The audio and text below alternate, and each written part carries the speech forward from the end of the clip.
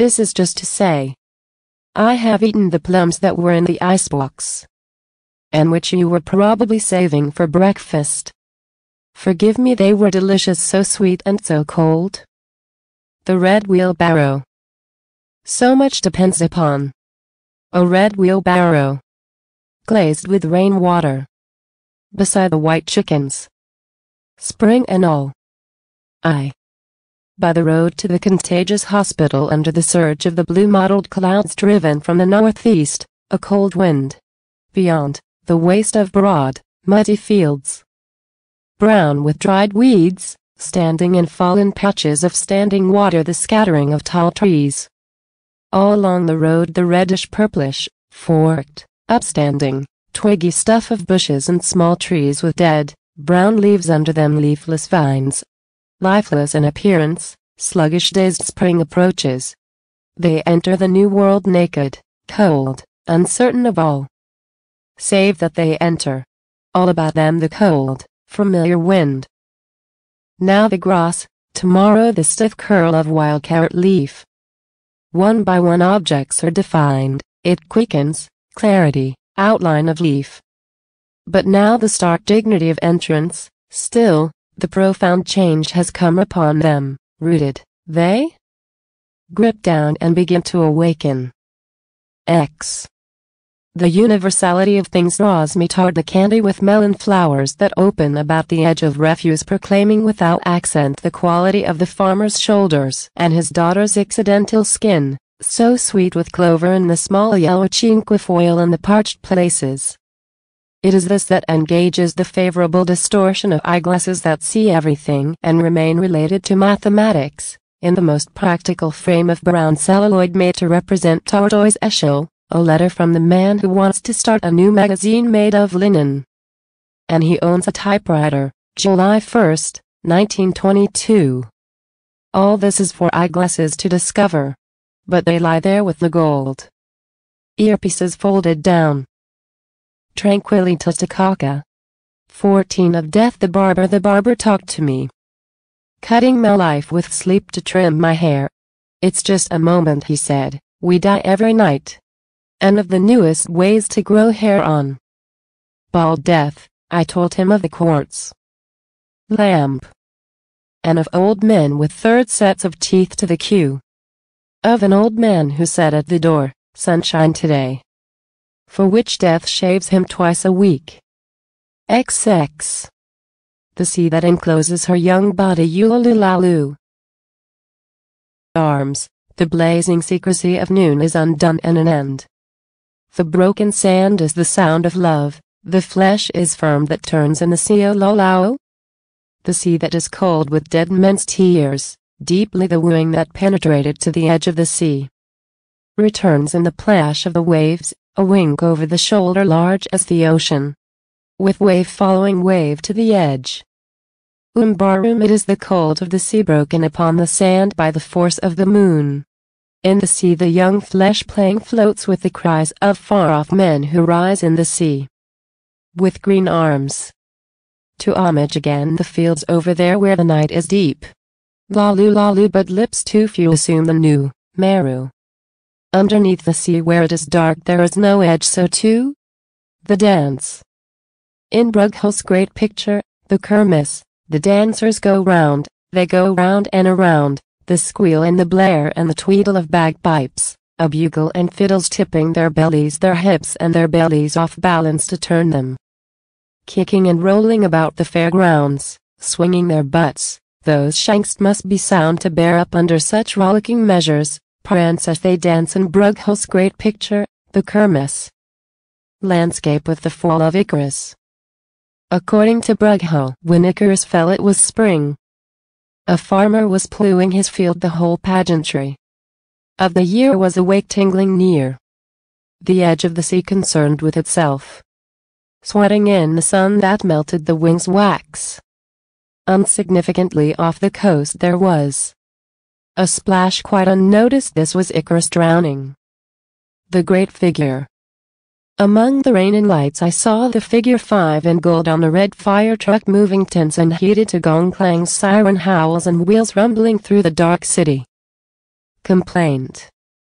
They call me and I go. It is a frozen road past midnight, a dust of snow caught in the rigid wheel tracks. The door opens. I smile, enter and shake off the cold. Here is a great woman on her side in the bed. She is sick, perhaps vomiting, perhaps laboring to give birth to a tenth child. Joy. Joy. Night is a room darkened for lovers, through the jealousies the sun has sent one gold needle. I pick the hair from her eyes and watch her misery with compassion. To a poor old woman. Munching a plum on the street a paper bag of them in her hand. They taste good to her they taste good to her. They taste good to her. You can see it by the way she gives herself to the one half sucked out in her hand. Comforted a solace of ripe plums seeming to fill the air they taste good to her. Danse Russe. If I when my wife is sleeping and the baby and Kathleen are sleeping. And the sun is a flame white disk in silken mist above shining trees, if I in my north room dance naked, grotesquely before my mirror, waving my shirt round my head and singing softly to myself, I am lonely, lonely. I was born to be lonely, I am best so. If I admire my arms, my face, my shoulders, flanks, buttocks against the yellow drawn shades, who shall say I am not the happy genius of my household? Poem. As the cat climbed over the top of the jam closet first the right forefoot, Carefully then the hind stepped down into the pit of the empty flower pot. Nantucket.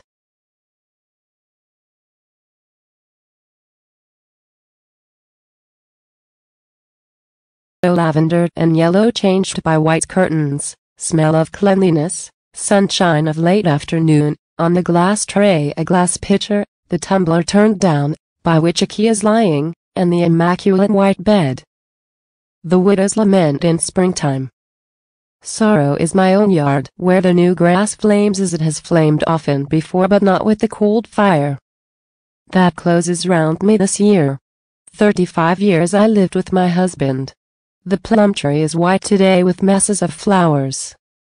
Masses of flowers load the cherry branches and color some bushes yellow and some red but the grief in my heart is stronger than they for though they were my joy formerly, Today I notice them and turn away forgetting. Today my son told me that in the meadows, at the edge of the heavy woods in the distance, he saw trees of white flowers.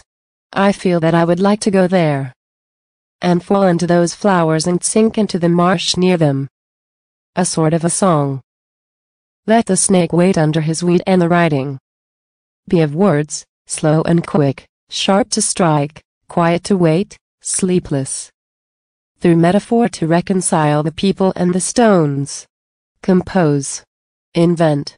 Saxifrage is my flower that splits the rocks. The young housewife. At 10. The young housewife moves about in negligee behind the wooden walls of her husband's house. I pass solitary in my car. Then again she comes to the curb to call the ice man, fish man, and stands shy, uncorseted tucking in stray ends of hair, and I compare her to a fallen leaf. The noiseless wheels of my car rush with a crackling sound over dried leaves as I bow and pass smiling.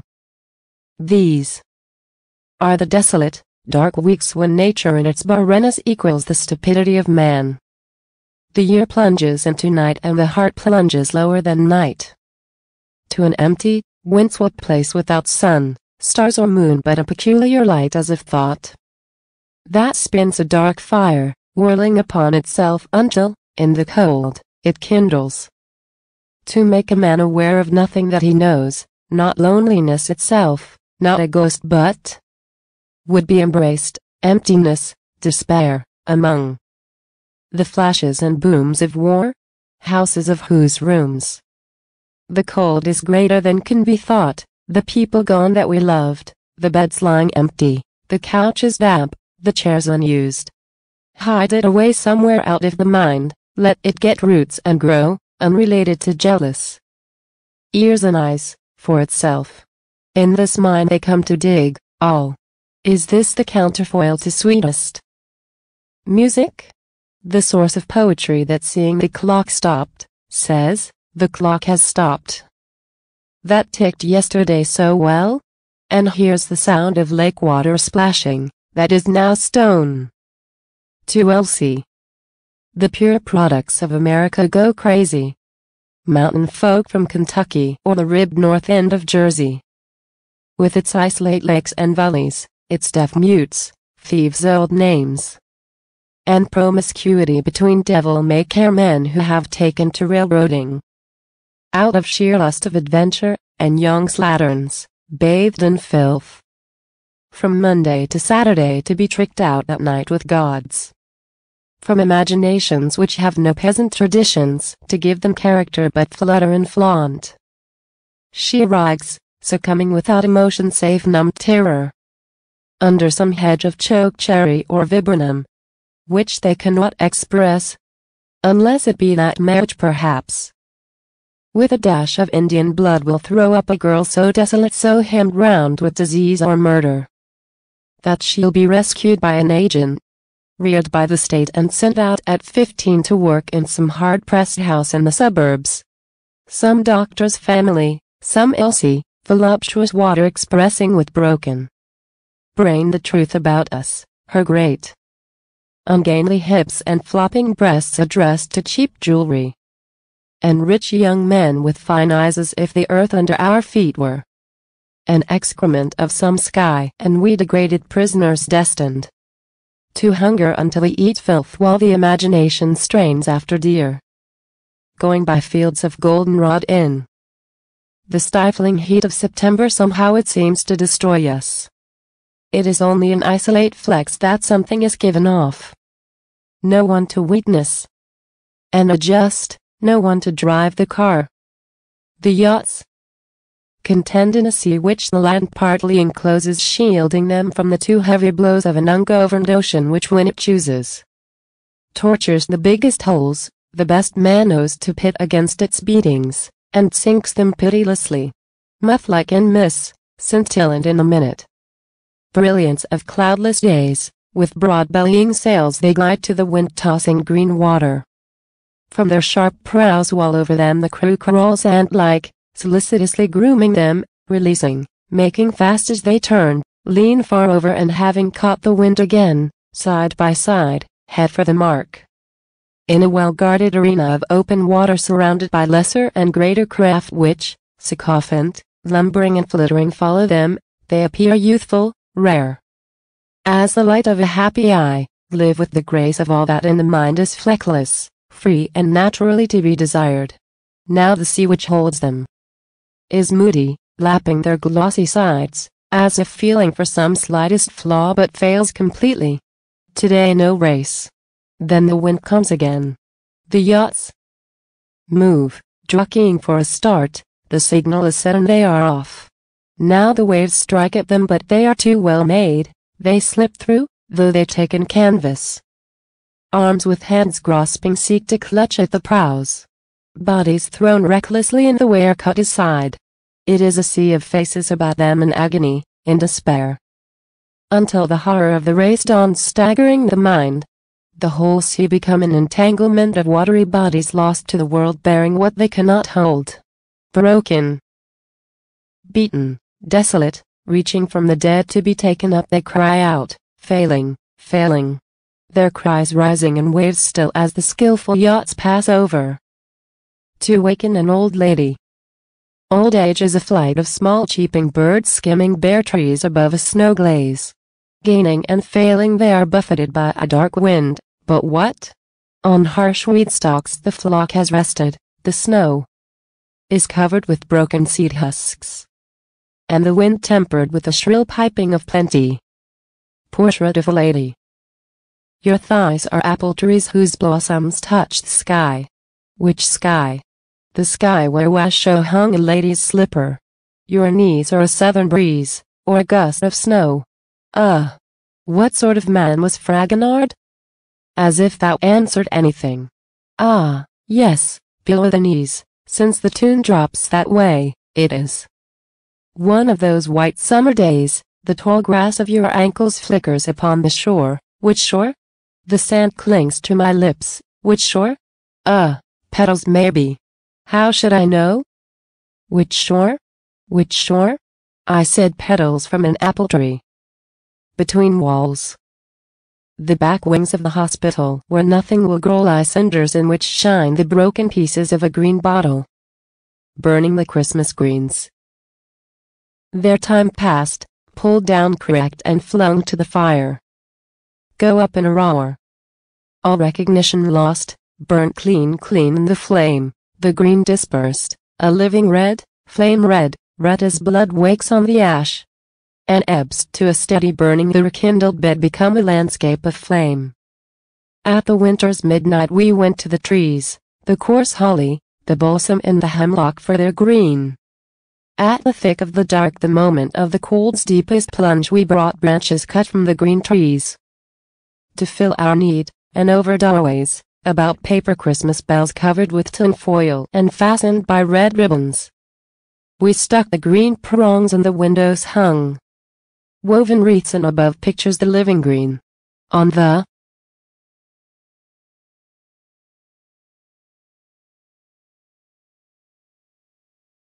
Those hemlock sprays put a herd of small white deer as if they were walking there. All this. And it seemed gentle and good to us. Their time passed, relief. The room bare. We stuffed the dead grate with them upon the half-burnt out logs smoldering eye, opening red and closing under them. And we stood there looking down. Green is a solace a promise of peace, a fort against the cold, though we did not say so, a challenge above the snow's hard shell. Green that, where small birds hide and dodge and lift their plaintive rallying cries, blocks for them and knocks down the unseeing bullets of the storm.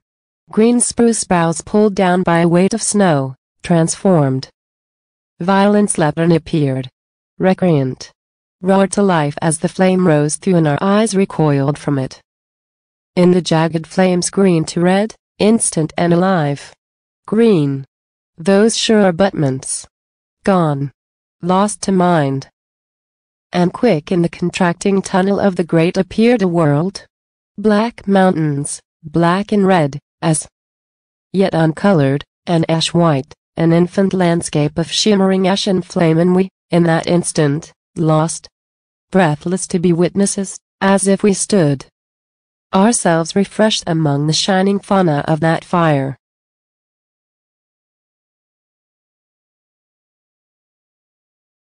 Queen Anne's lace. Her body is not so white as anemone petals nor so smooth, nor so remote a thing. It is a field of the wild carrot taking the field by force. The grass does not raise above it. Here is no question of whiteness, white as can be with a purple mole at the center of each flower. Each flower is a handspan of her whiteness. Wherever his hand is lain there is a tiny purple blemish.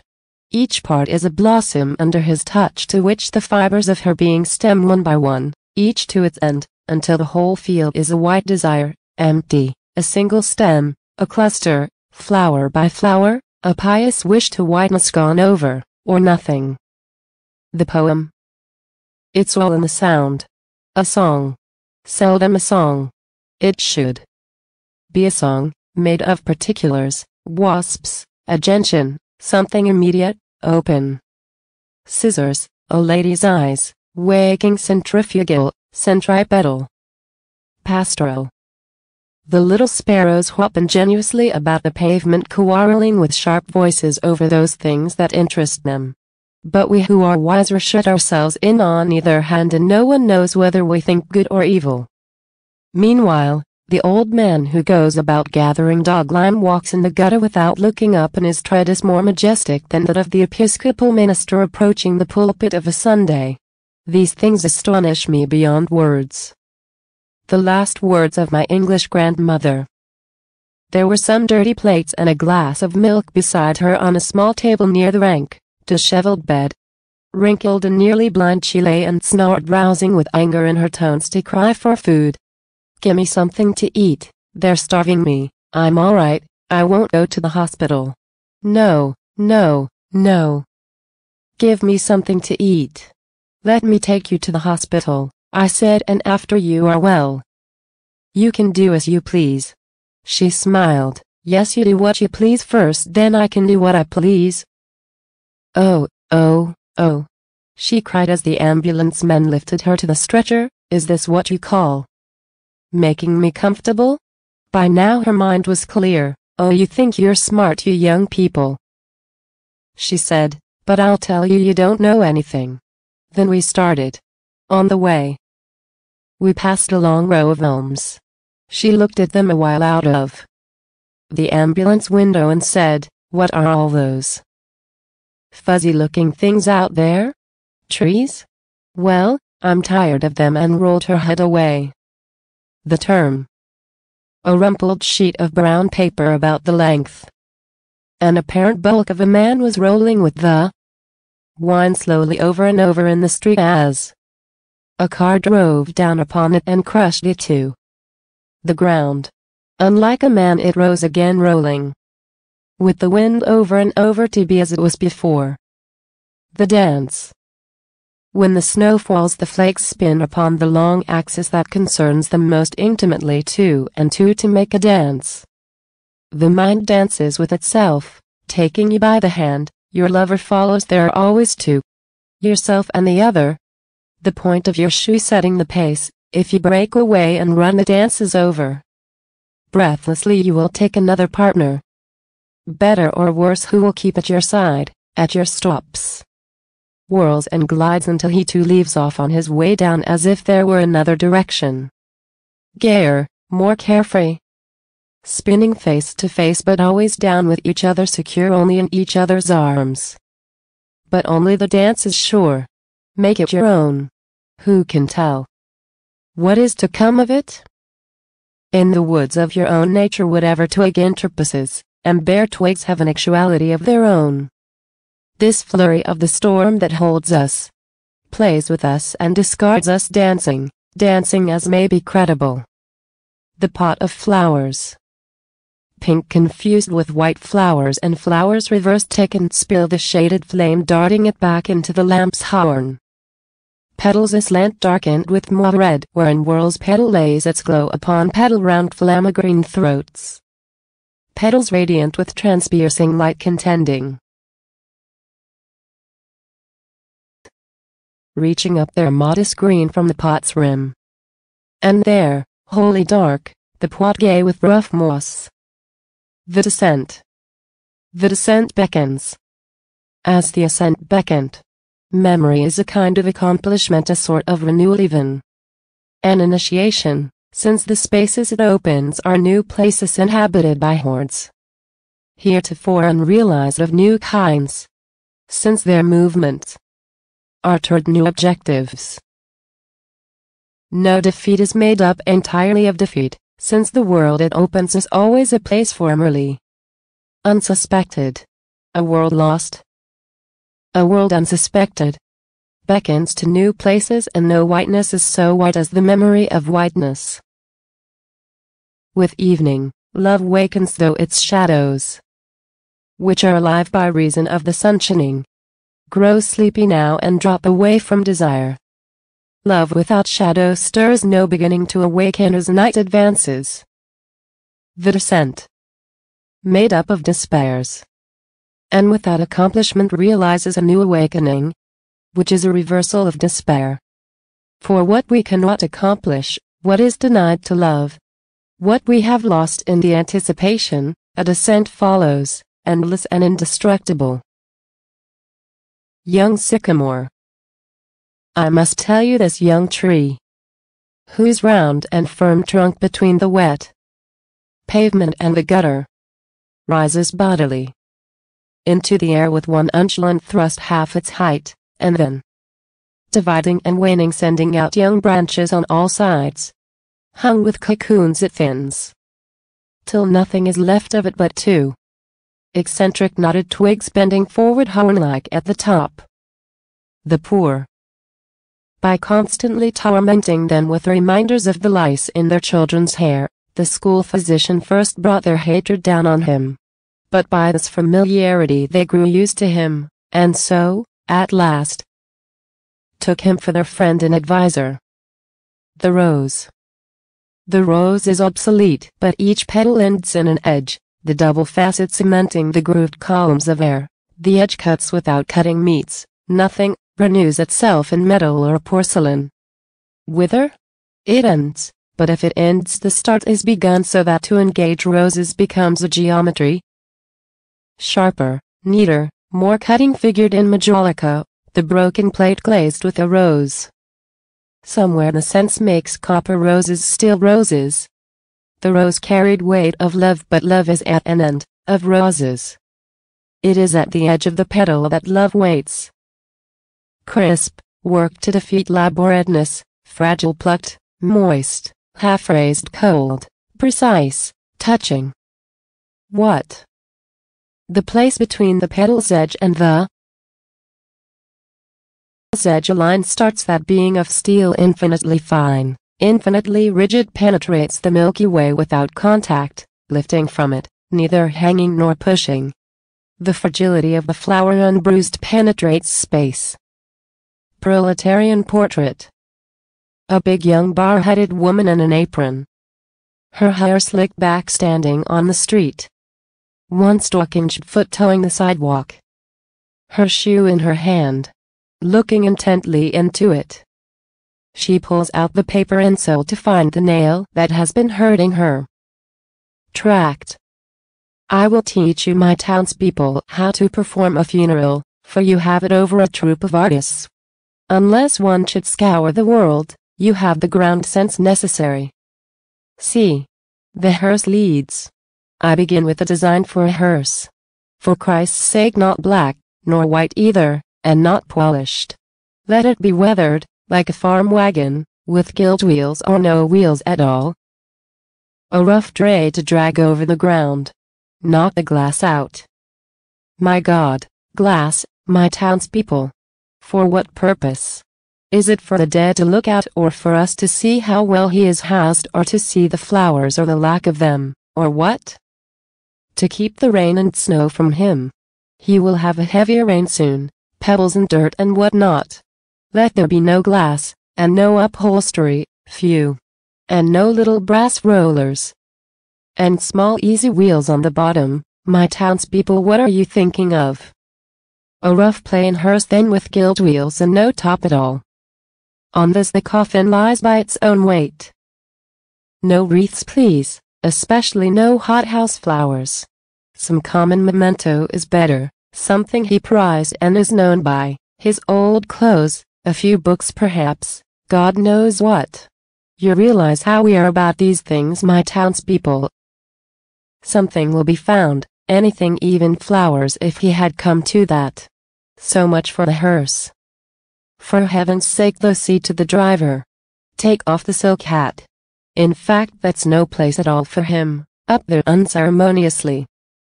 Dragging our friend out to his own dignity. Bring him down, bring him down. Low and inconspicuous.